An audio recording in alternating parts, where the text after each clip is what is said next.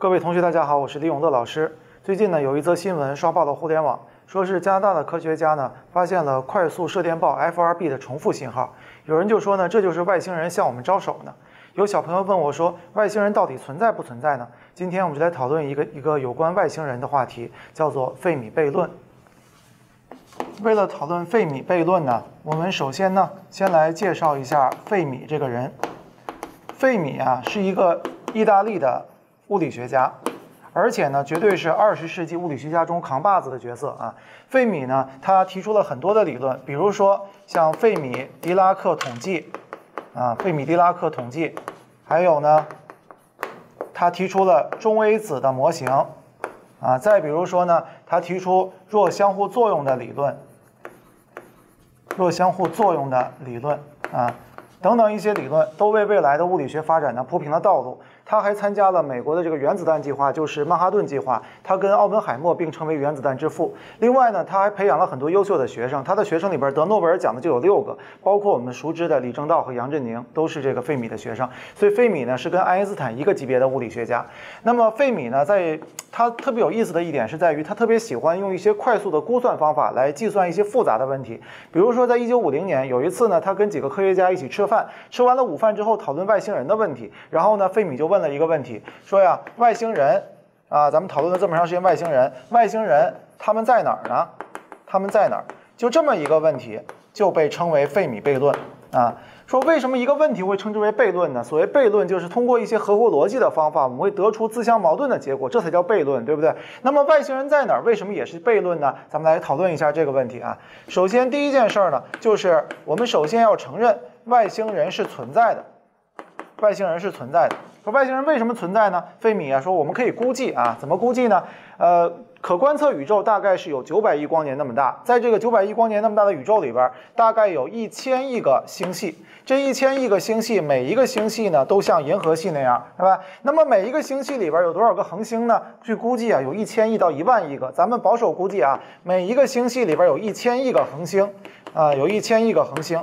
但是这些恒星呢，不都像太阳一样？如果这个恒星质量太大的话，那么它的寿命就比较短，不足以产生生命。如果这个恒星质量太小呢，发的光又比较弱，而且不稳定，所以只有像太阳那么大、差不多的恒星才能够产生生命。那这样的话，比例有多少呢？咱们再保守估计一下，科学家估计是百分之五到百分之二十，咱们估计个百分之一啊。这百分之一呢，是像太阳一样的恒星。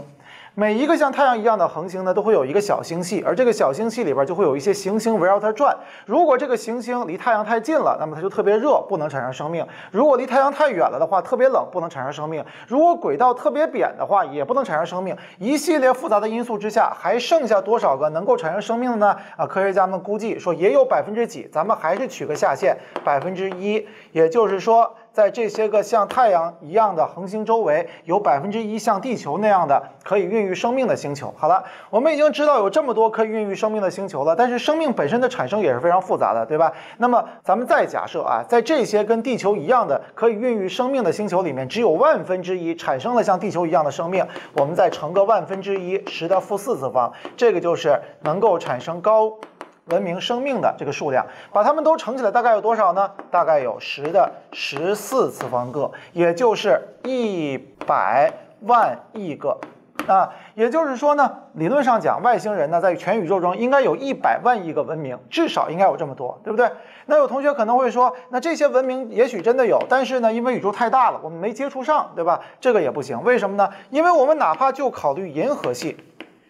我们知道啊，有一千亿个像银河系这样的星系。如果我们把这个文明数量除以一千亿，那就是在银河系里边应该有多少个文明，对吧？我们估算也会有一千个以上的高等文明，对吧？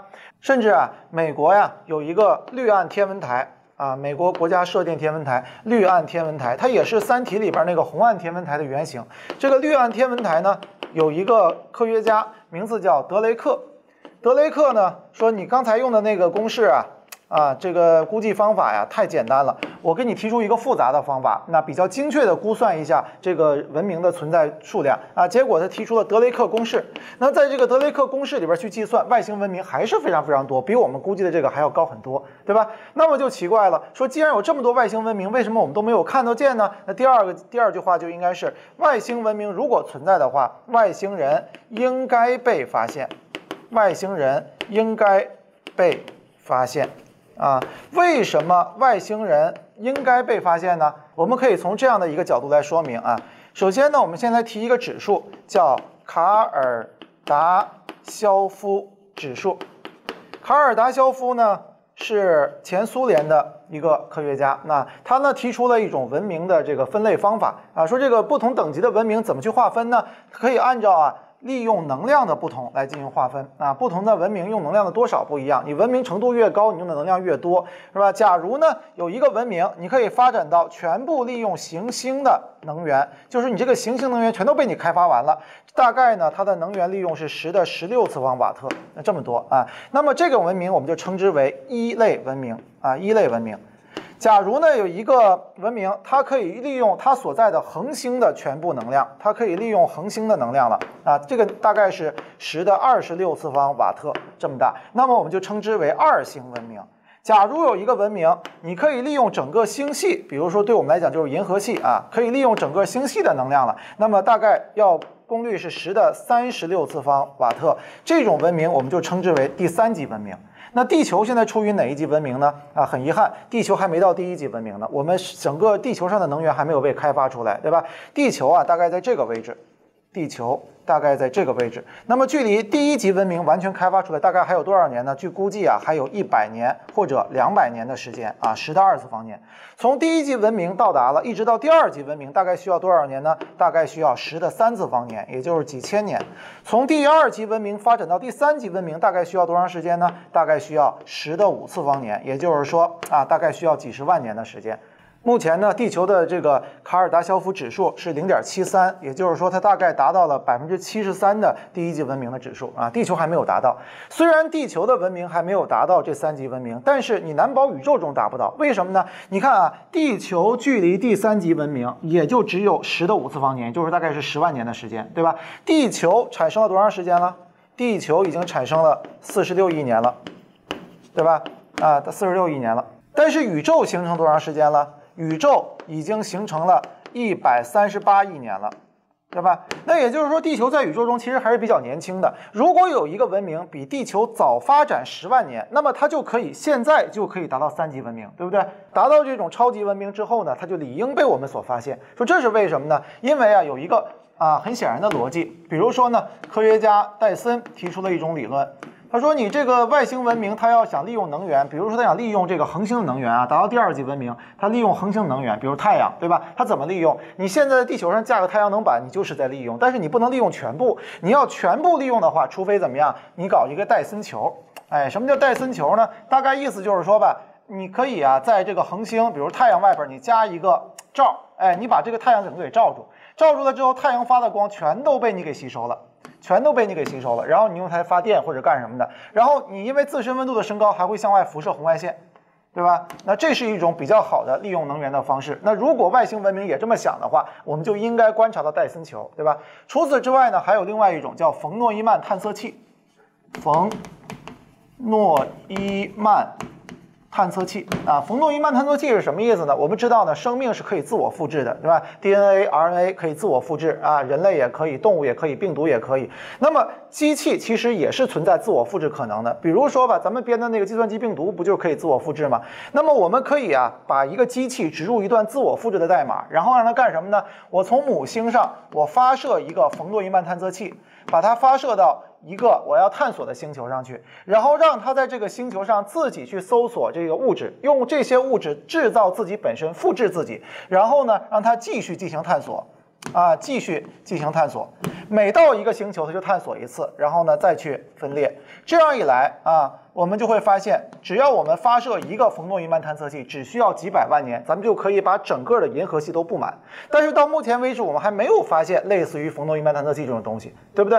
也就是说呢，从逻辑上讲啊，外星人如果采用的逻辑跟我们一样的话，那么他为了维持自己的这个种族不至于灭绝，他就一定要采用比如戴森球啊或者冯诺依曼探测器这种方式对宇宙进行开发，对吧？但是第三个问题来了，第三三个问题就是我们目前为止还没有发现外星人。没有发现外星人，也没有发现外星人的任何的痕迹。咱们看外星人存在是我们通过一些计算方法实证出来的，我们认为它真的就应该是存在的，对吧？那么外星人应该被发现，是我们通过逻辑得到的。就是说呢，如果外星人已经有了高度文明了，理论上讲我们就应该看见它，但是事实上我们又没有看见它，于是出现了什么呀？矛盾。啊，这个呢，我们就称之为费米悖论。那么对于费米悖论，人们是怎么去解释的呢？呃，几十年的时间里面，人们提出了上百种的解释啊。这些解释呢，呃，没有一种解释能够让所有人信服。那么大概的，我们可以把这些解释分为三类。第一类解释呢，称之为地球稀有。啊，地球稀有，地球稀有的意思就是说呢，啊，地球是很特殊的一个存在，除了地球以外啊，其他文明都没有人类这么高，也就是没有外星文明啊。如果外星球有蠕虫，我们不管啊，但是超过人类的文明就是没有，是吧？说这是为什么呢？有很多种说法，比如说第一个啊，地球的生存条件是非常苛刻的。我们想找到这么好的一个条件太难了，比我们估计的难很多，对吧？比如说呢，我们需要一个适中的大气层，我们需要一个合适的磁场来保护我们啊，我们需要这个轨道比较特殊，我们需要没有小行星带撞击等等一系列要求，条件非常苛刻，其他星球都没有这么好的条件，所以呢，我们就算不是唯一的一个，也是第一批的高度文明啊，这就是第一种说法啊。第二种说法呢，就称之为什么呢？称之为大过滤器，大过。滤器，啊，大过滤器。什么叫大过滤器呢？就是说在文明的发展过程中啊，有很多的节，是吧？过滤器。就是最开始可能文明有很多，对吧？这个文明呢发展到一定程度上就会有一节，很多文明在这儿就消耗了，消耗光了。那么可能有少数的文明通过了第一节，通过了第一节之后又出现了第二个过滤器，啊，第二个过滤器又筛掉了一批文明啊，然后呢继续往前发展。比如说这就是低等文明，这是中等文明，这是高度文明，像人类一样，是吧？啊，这就称之为过滤器。说过滤器有哪些种可能呢？我们举几个例子啊，比如说吧。生命的产生其实本身就是一次过滤器，啊，我们现在在实验室里面通过各种各样的方法啊造出了这个氨基酸，但是我们想造出最低等的生命都造不出来。那生命产生本身就是一次过滤，对吧？再比如说从原核生命到真核的生物，这个过程地球花了多长时间才做到啊？花了十几亿年，那这可能也是一次大过滤，对吧？大部分的生命都达不到从原核到真核的这么一个步骤。你再比如说啊，现在人类已经文明高度发达了，对不对？发达了一段时间之后，人类有没有可能通过战争？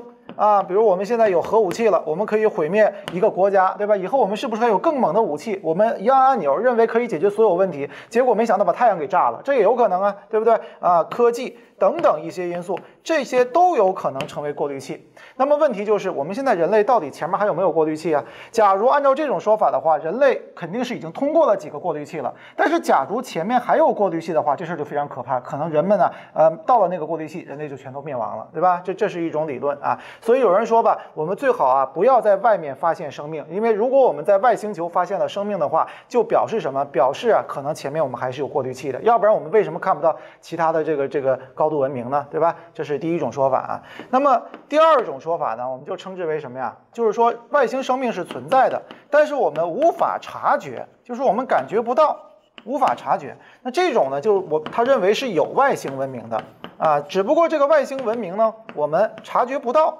啊，说为什么无法察觉呢？有几种说法，比如第一个啊，时间不够，人类探索宇宙的历史啊，或者说。人类利用电磁波探索宇宙的历史，可能只有几十年的时间啊！之前嘛，那个外星文明啊，可能它也不是通过广播的方式去广播自己的。外星文明可能像灯塔一样，它往一个地方去照射一个电磁波，过一段时间之后，它一看这块没什么反应，于是它就往别的地方去照。上次照的时候呢，人类还很愚钝，什么也不知道呢，是吧？然后我们现在探测的时候，人家没往这边照，是吧？所以时间不够，我们多看一会儿，没准就看到了。这是第一个啊。第二个呢，就是虽然外星人就在我们周围，但是我们无法理解。啊，无法理解。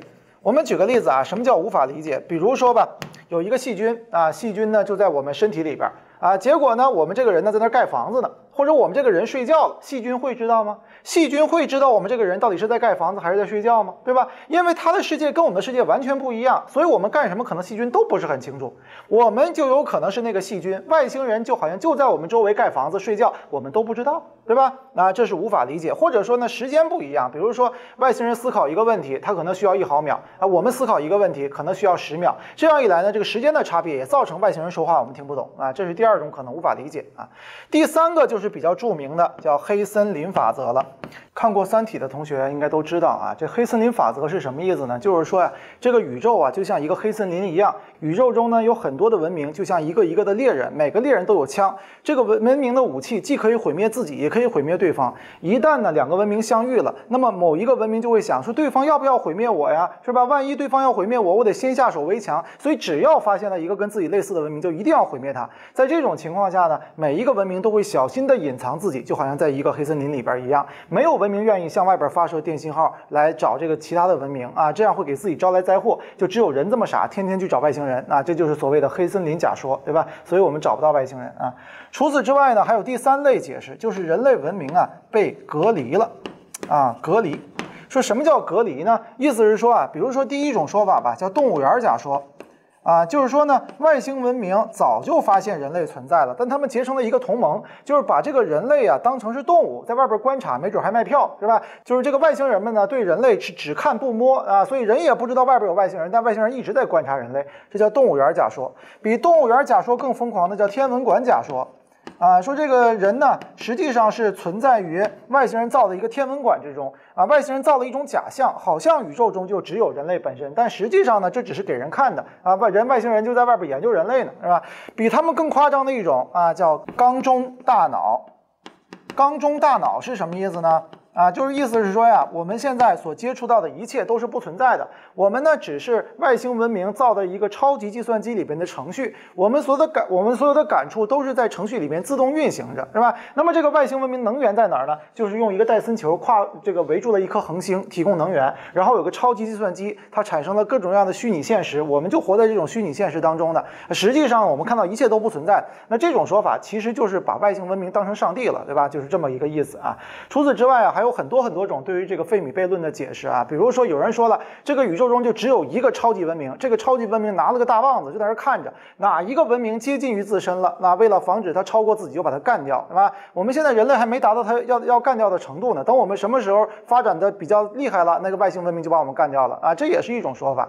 虽然呢，人类已经经过了很漫长的历史，同时也有很多的科技成就了，但是呢，人类文明也不过只有几千年。相比于宇宙一百多亿年的历史来讲，人类才刚刚起步，还处于胚胎阶段。可能很多问题呢，我们现在还不太好理解。举个例子来说，就在五百年之前，人们还不知道是地球围绕太阳转还是太阳围绕地球转，人们还在争论地球到底是不是一个球体呢。所以现在我们讨论的很多问题啊，可能还需要很久很久的时间，我们才能真正弄明白。大家如果喜欢我的视频呢，可以在西瓜视频和 YouTube 账号“林永的老师”里关注我。